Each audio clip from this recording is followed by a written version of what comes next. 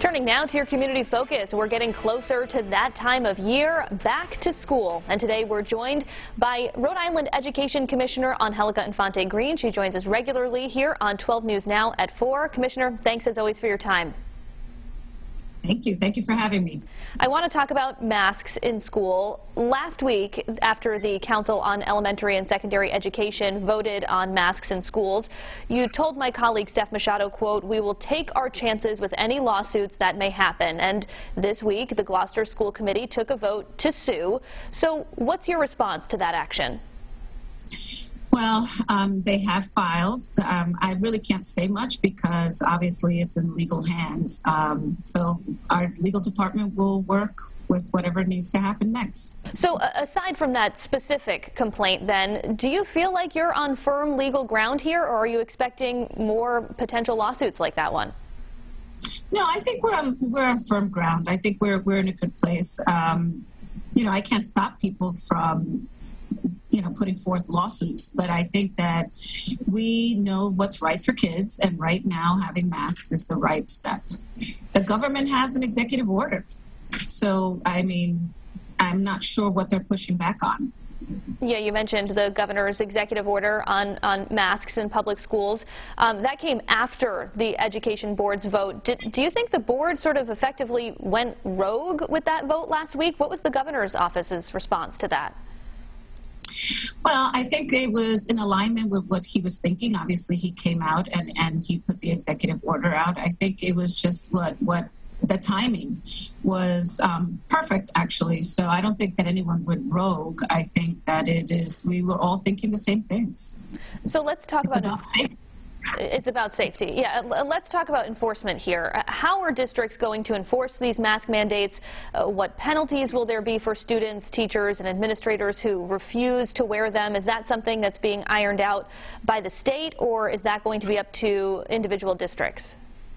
Well, it's going to be up to individual districts. They have local policy, like there's a there's a dress policy. There's all sorts of different policies that schools have, and they enforce the policy. So this will be one other that they will enforce, and they'll figure out how to do that locally. And is that going to be something that they have to iron out for the plans that they're going to submit to the state? Um, it's it's part of the plan, but they don't have to be specific because they can do that at the local level. They have all the schools, all the districts are submitting their plans. They've already submitted the health and safety plan. Um, we are getting this Friday the final plans from all the districts, which will be posted on the website so everybody can see on our website, but each um, LEA district's website as well. What about breaks for masking for kids? Uh, would you suggest that kids get a chance to take them off, maybe during recess or gym class or time when they're outside? Well, it depends, right? So we have a mask mandate indoors. So what it looks like outdoors could be different if you keep you you have the pods where the kids are in the same social group. So it's going to be depending on each individual situations, but there are places where you can do that and you can do it safely. I want to talk a little bit about vaccines. With the FDA's full approval of the Pfizer vaccine and now Moderna asking for the same, what's the status of conversations around mandating COVID vaccines for both students and or staff?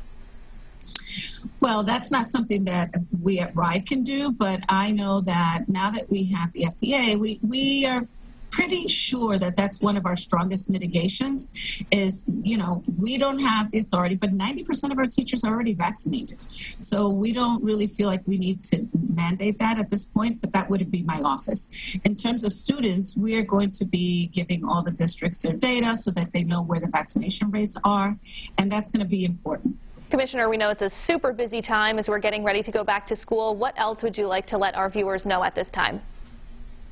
Well, that we're excited about kids coming back to school. I know that um, there's a lot of questions, but in your local district plans, you will get your questions answered. And please go to them. They, they want to be as transparent as possible. Everybody wants to so that there's a comfort level. And, you know, our kids really miss being in school. We saw from our SurveyWorks how excited they were to be back in the building, as well as the teachers. So I think, you know, we're planning and we're ready, and we're going to have an awesome school school year. Rhode Island Education Commissioner Angelica Infante Green, thank you as always for your time. Thank you.